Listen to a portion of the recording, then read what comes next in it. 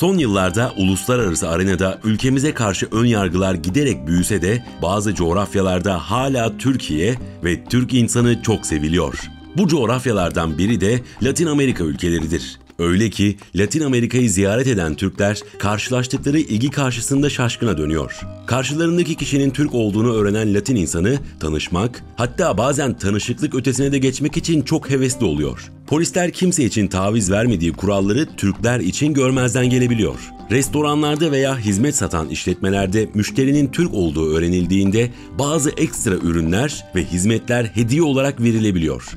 Örnekleri daha da çoğaltabiliriz ama atlamamamız gerekir ki bunlar genel bir durumdur. Her yerde olduğu gibi Latin Amerika'da da karşısındaki kişinin hangi ülkeye ait olduğunu önemsemeyen insanlar var. Ya da Türklere karşı sebepli veya sebepsiz ön yargılı olanları da var. Peki genele baktığımızda Latin Amerika ülkelerinde Türkiye ve Türkler neden çok seviliyor?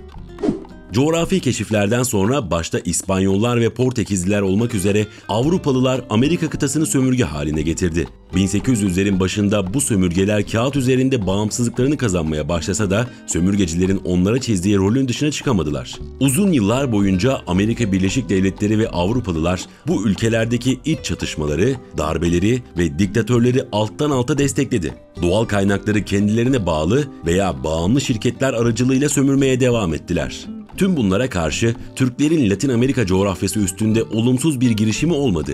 Tabii ki Osmanlı'nın coğrafi keşifler çağının dışında kalması, sonrasında da Türkiye'nin kabul etmek gerekir ki küresel gücünün sınırlı olması buna katkıda bulundu. Ayrıca Türkiye Cumhuriyeti birçok Latin Amerika ülkesi gibi yakın döneme kadar neredeyse ortak geçmişi yaşadı. Her iki tarafta darbelerden ve ekonomik krizlerden çok çekti. Tüm bunlar Türkiye ile Latin Amerika arasında bembeyaz bir sayfa olmasına ve karşılıklı empati kurulabilmesine olanak sağladı.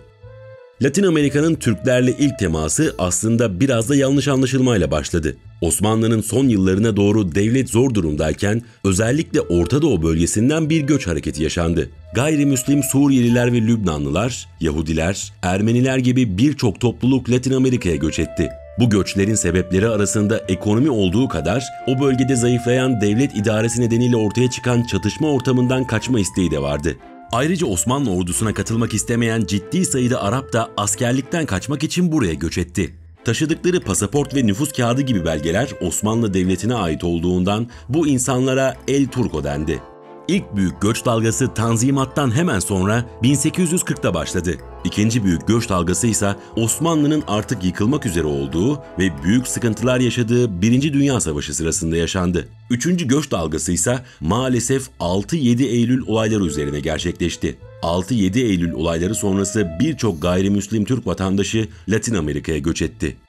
Haklarını vermek gerekir ki El Turco olarak anılan Osmanlı vatandaşı Araplar ve gayrimüslimler bölge insanıyla gayet uyum içinde yaşamaya başladı. Bölgenin sosyal ve ekonomik yaşamına hızla adapte oldular, kendilerini kabul ettirdikçe siyasi ve kültürel hayatta da çok etkin roller aldılar. Örneğin Latin Amerika'nın en zengin insanı olarak gösterilen, 2007 yılında da dünyanın en zengin kişisi olarak seçilen Meksikalı Carlos Slim'in kökeni Suriye'ye dayanıyor ve El Turco olarak anılıyor. Bu şekilde El Turco olarak anılan birçok milyarder ve iş insanı da var. Ayrıca Arjantin eski Cumhurbaşkanı Carlos Menem, Kolombiya eski Devlet Başkanı Julio Cesar Turbay, şu an El Salvador Devlet Başkanlığı görevinde bulunan Nayib Bukele, El Turco olarak anılan liderlerden bazılarıdır. Bu kişilerin dışında da Latin Amerika siyasetinde geçmişte ve günümüzde üst düzey görev alan El Turco siyasetçiler oldu. Galatasaray'ın eski kalecisi Ferit Ali Mondragon ve dünyaca ünlü şarkıcı Shakira da spor ve sanat dünyasındaki El Turco'lara örnektir.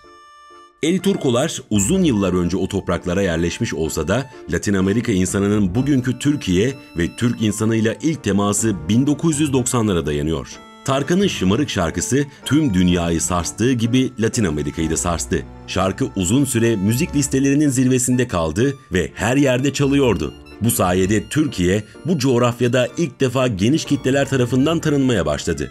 Türkiye'nin adını Latin Amerika'da daha geniş kitlelere duyuran ve Türklere karşı oluşan sevginin altında yatan en önemli nedense Türk dizileri oldu.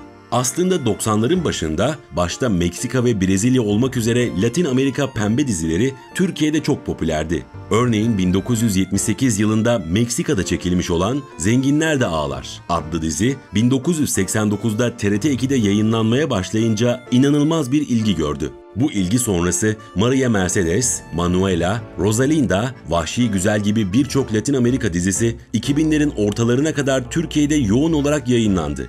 2014'e gelindiğinde ise işler tersine döndü. Türkiye'de 2006 ile 2009 yılları arası yayınlanan Binbir Gece adlı dizi 2014'te Şili'de yayınlanınca bir anda çok büyük ilgi gördü.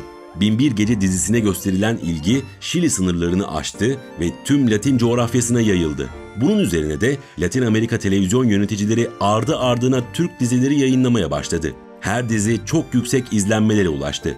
Fatma Gül'ün suçu ne? Ezel, Kara Para Aşk, Muhteşem Yüzyıl gibi bazıları çılgınlık seviyesine ulaştı. Dünyanın en iyi futbolcularından biri olan Lionel Messi'nin sosyal medya paylaşımlarında bile arkadaki televizyonda Türk dizisinin açık olduğu görüldü. Türk dizilerinin yarattığı etkiye dünya siyasetinde yumuşak güç deniyor.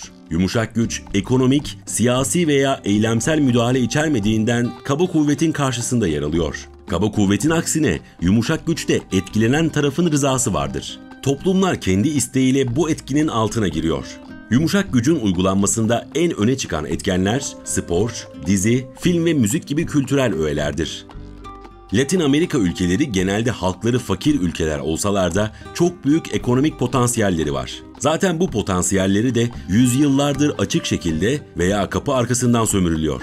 Türkiye ile bölge arasındaki ticari ilişkiler 2000 yılında 1 milyar dolar civarında seyrediyordu. 2016'da bu rakam 8 milyar dolar civarına ulaştı. Anadolu Ajansı'nın haberine göre de 2021 yılında 12,8 milyar dolara yaklaşarak tüm zamanların en yüksek rakamına ulaştı.